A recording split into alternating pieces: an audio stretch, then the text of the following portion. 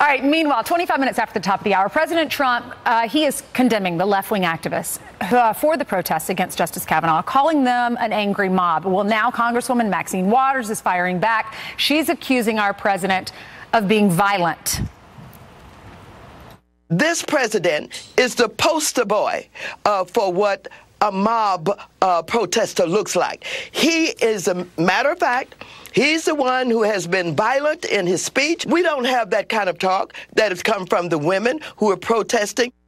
Really? Our next guest is running against Congresswoman Maxine Waters. Republican California Congressman, uh, candidate himself, Omar Navarro, joins us right now. Omar, do you think that Maxine Waters is acting responsible and she's just doing things in response to the president's speeches? Yeah, what Maxine Waters is trying to do, she's trying to divide people. She's not preaching a message of unity. Uh, what we need to bring back is a balance of unity, and we need to make sure that we're working with the President of the United States, not against his interest. All right, tell us a little bit about yourself. For folks that are watching that are able to vote for you, why should they go to the polls?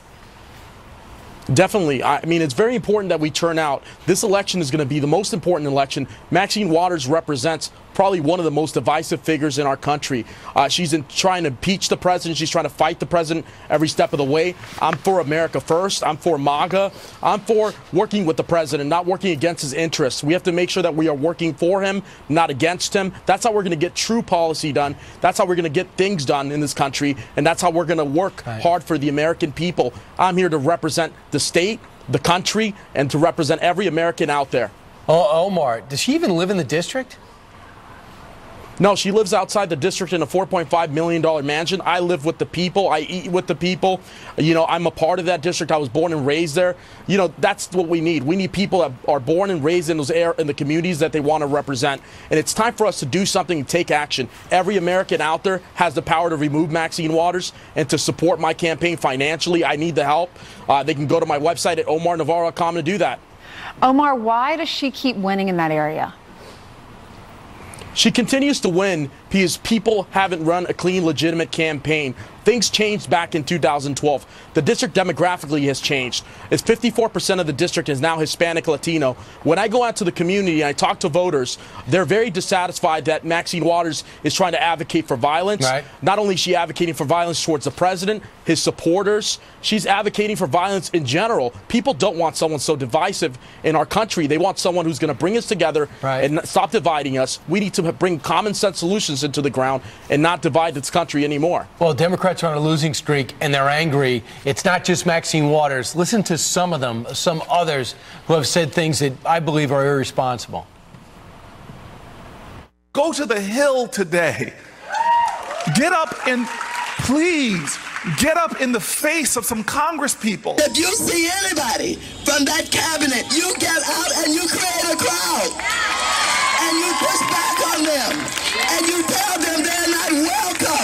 welcome. Michelle says that, you know, when they go low, we go high. No. No. When they go low, we kick them. What's your response? again, this is the same rhetoric from the from the left. I mean, they are divisive. I mean, they're advocating for violence. I mean, if you go out there and you see how they treat uh, anybody who wears a red a red hat, a cap, I mean, they, they tell them to advocate for violence. They tell them to go confront the people and to tell them to kick them out of restaurants. This is what's happening all over Los Angeles. People yeah. can't even wear a red hat without going outside and, and assuming the responsibility of being hurt. Uh, this is what we don't need in our country. We need someone who's going to bring us together. Right. Obviously, my opponent's not going to do that. And I plan on working with the President of the United States out every step of the way and making sure that we are bringing back our country back together and bringing back a balance. All right. Well, Omar, we wish you all the best. She's been in office for a long time. Our producers just did the math, and they said she's been in office since you were two years old. We did reach out to her office to invite her on the show, so she's welcome. We'd love to have her. Thanks so much. Thank you. Go get him, Omar. Uh, meanwhile,